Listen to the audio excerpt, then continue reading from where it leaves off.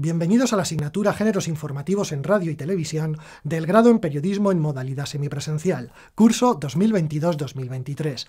Mi nombre es David García Marín y seré quien os acompañe en este proceso de enseñanza-aprendizaje a lo largo de estos meses. La radio y la televisión tienen un lenguaje diferente al de otros medios. Utilizan elementos propios a la hora de construir sus mensajes. Por ello, ambos medios explotan unos géneros específicos, que son el objeto de estudio de esta asignatura. En esta materia desarrollarás las competencias básicas del informador audiovisual. Entrarás en contacto con los procesos fundamentales del trabajo de los informadores de radio y televisión.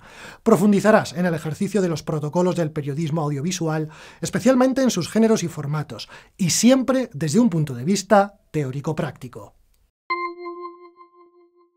En esta asignatura aprenderás a construir adecuadamente las estructuras de la noticia audiovisual, así como el resto de opciones narrativas que presenta la información en radio y televisión.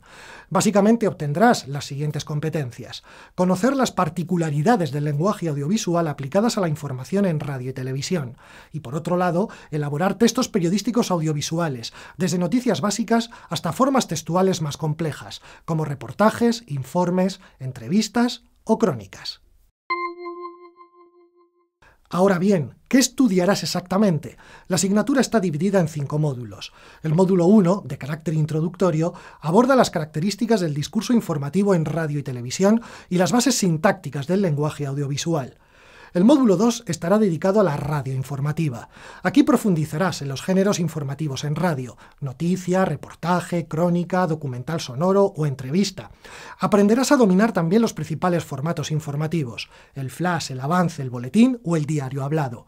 De ahí pasaremos al podcast, que constituye el módulo 3. Descubrirás sus características, sus diferencias con respecto a la radio y, sobre todo, cómo construir relatos periodísticos para este medio. La información en televisión será el aspecto central del módulo 4. No solo aprenderás los principales géneros informativos en este medio, sino que abordarás las diferentes fases de la producción informativa y conocerás los instrumentos esenciales que operan en ella, como por ejemplo la escaleta. Terminaremos el curso con el módulo 5, dedicado a los nuevos medios audiovisuales basados en el entorno digital, tales como YouTube o Twitch. Durante todo el curso tendremos dos videoclases síncronas por semana que serán grabadas para su visionado en diferido en caso de que no puedas asistir en directo. Estas sesiones tendrán un carácter participativo e interactivo. En ellas se expondrán las cuestiones teóricas y realizaremos ejercicios prácticos que reforzarán los contenidos de la asignatura. Para cada tema tendrás materiales complementarios, un foro de dudas y un test de autoevaluación que no contará para la nota final, pero que te servirá para comprobar tu grado de adquisición de conocimientos. Tendrás todos los materiales disponibles en aula virtual.